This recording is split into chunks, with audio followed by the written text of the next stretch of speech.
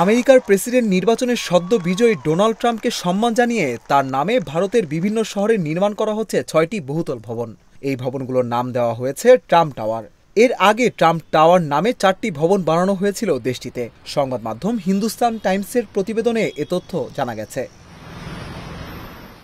ট্রাম্পের নিজস্ব সংস্থা ট্রাম্প অর্গানাইজেশন এবং এই সংস্থার ভারতীয় মিত্র ও অংশীদার ত্রিবেকার ডেভেলপার্সের উদ্যোগে মুম্বাই, পুনে, গুরুগাঁও, বেঙ্গালুরু, হায়দ্রাবাদ ও নয়ডায় নির্মাণ করা হবে টাওয়ারগুলো। দুই হাজার পঁচিশ সালের মধ্যেই শেষ হবে এসব ভবনের নির্মাণ কাজ। প্রথম মেয়াদে ট্রাম্প যখন যুক্তরাষ্ট্রের প্রেসিডেন্ট ছিলেন, অর্থাৎ দুই হাজার সতেরো থেকে দু হাজার একুশ পর্যন্ত ভারতের মুম্বাই, পুনে, গুরুগাঁও ও কলকাতায় চারটি ট্রাম্প টাওয়ার নির্মাণ করা হয়েছিল। সবগুলো টাওয়ারই আবাসন সংক্রান্ত এবং বহুতল নতুন টাওয়ারগুলো আবাসিক ভবন হিসেবে নির্মাণ করা হবে বলে জানিয়েছে ত্রিবেকা ডেভেলপার্স। ভারতে ট্রাম্পের নামে প্রথম বহুতল ভবনটি নির্মিত হয়েছিল দুই হাজার চোদ্দ সালে। দেশটির সবচেয়ে ধনী রাজ্য হিসেবে পরিচিত মহারাষ্ট্রের রাজধানী মুম্বাইয়ের প্রথম টাওয়ারটি নির্মিত হয়। এই ভবনটি নির্মাতা প্রতিষ্ঠানও ছিল ত্রিবেকা ডেভেলপার্স। যুক্তরাষ্ট্রের শীর্ষ আবাসন ব্যবসায়ীদের মধ্যে অন্যতম ডোনাল্ড ট্রাম্প। ট্রাম্প টাওয়ার আমেরিকার একটি সুপরিচিত বহুতল ভবন। নিউ ইয়র্কের ম্যানহ্যাটেনে অবস্থিত বহুতল ভবনটিকে আমেরিকার অন্যতম বিখ্যাত ভবন বললেও ভুল হবে না। যুক্তরাষ্ট্রের পরে ভারতই প্রথম এবং এখন পর্যন্ত একমাত্র দেশ যেখানে ট্রাম্পের নামে ভবন নির্মাণ করা হয়েছে।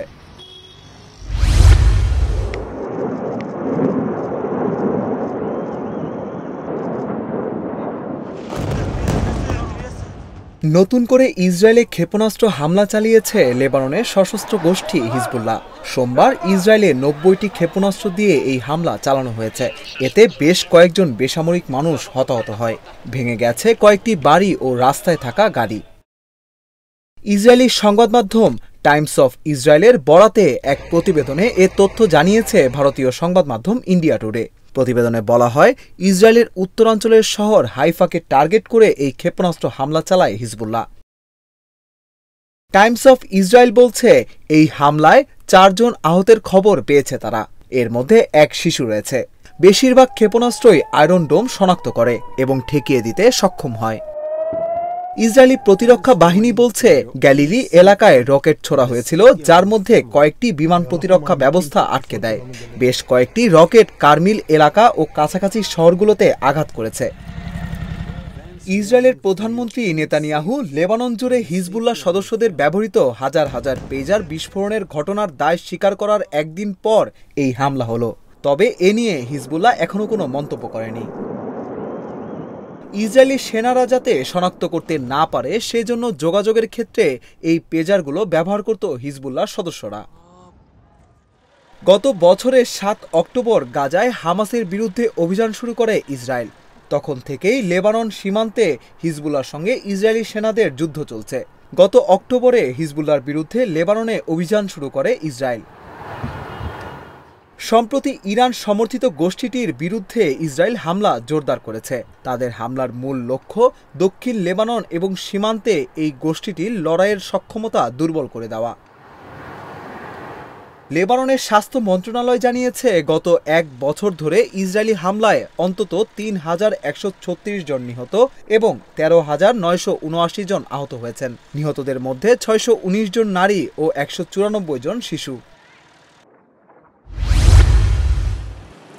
পাকিস্তানের লাহোরে বায়ু দূষণ পরিস্থিতি ভয়াবহ আকার নিয়েছে। দূষণে নাকা লাহোরবাসী। এরই মধ্যে অসুস্থ হয়ে হাসপাতালে ভর্তি হতে হয়েছে প্রায় নয়শো জনকে। দেশটির সংবাদ মাধ্যম ডনের প্রতিবেদনে এ তথ্য জানা গেছে। ভারত সীমান্তবর্তী পাকিস্তানের দ্বিতীয় বৃহত্তম শহর, লাহোরে প্রায় দেড় কোটি মানুষের বাস। বিভিন্ন কলকারখানা থাকায় শহরটি প্রায় দূষণ তালিকায় শুরুর দিকে থাকে। তবে চলতি নভেম্বরে সেখানকার বায়ু দূষণ রেকর্ড মাত্রায় পৌঁছেছে। লাহোরের বায়ু দূষণ পরিস্থিতি এতটাই চরম হয়েছে যে রাস্তায় বের হলে চোখ জ্বালা পোড়া ও গলা জ্বলছে। দরজা জানালা দিয়ে প্রবেশ করা বিষাক্ত কণার ক্ষতির পরিমাণ কমাতে বাড়িতে খুব কম লোকই এয়ার পিউরিফায়ার ব্যবহার করতে সক্ষম হচ্ছেন। দূষণ থেকে শিশুদের সুরক্ষা দিতে লাহোরের পাশাপাশি পাঞ্জাব প্রদেশের আরও কয়েকটি শহরে সব স্কুল বন্ধ রাখা হয়েছে। আগামী সতেরো নভেম্বর পর্যন্ত স্কুল বন্ধ রাখার ঘোষণা দিয়েছে কর্তৃপক্ষ। বায়ু দূষণের পরিস্থিতি নিয়মিত তুলে ধরে সুইজারল্যান্ড ভিত্তিক প্রতিষ্ঠান আইকিউ এয়ার বাতাসের মান নিয়ে তৈরি করা সূচক একটি নির্দিষ্ট শহরে বাতাস কতটা নির্মল বা দূষিত সে সম্পর্কে মানুষকে তথ্য দেয়। আইকিউ এয়ারের তথ্য অনুযায়ী বায়ুর মান সূচকে লাহোরের স্কোর এক হাজার ছাড়িয়ে গেছে।